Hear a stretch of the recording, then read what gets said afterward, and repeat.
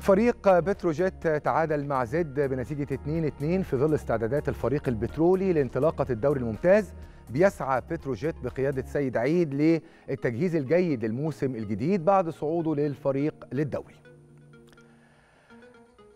بعثة فريق الإسماعيلي بقيادة حمد إبراهيم وصلت قطر لإقامة معسكر خارجي استعدادا للموسم الجديد. بيستمر معسكر الإسماعيلي لمدة أسبوع وسيخوض خلال هذا الأسبوع مباراتين وديتين.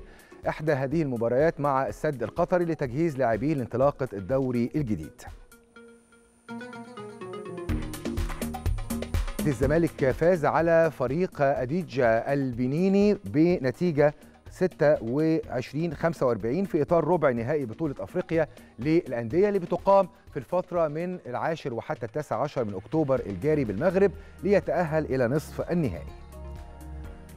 أما فريق رجال كرة اليد بنادي الأهلي فقد فاز على فريق رجاء أغادير المغربي بنتيجة 33-13 في إطار ربع نهائي بطولة أفريقيا للأندية والمقامة في المغرب في الفترة من 10 وحتى 19 يوليو الجاري ليتأهل إلى نصف النهائي لمواجهة فريق الزمالك. الصفحة الرسمية لمنتخبات مصر استعرضت مهارات نجوم منتخب مصر لكرة القدم الشاطئية قبل بدء بطولة الأمم الإفريقية اللي هتنطلق إن شاء الله يوم السبت القادم. نشرت الصفحة برومو ترويجي للبطولة وكتبت انتظروا منتخب مصر في بطولة كأس الأمم الإفريقية للكرة الشاطئية بالغردقة 2024 والتي تنظم بواسطة الشركة المتحدة للرياضة.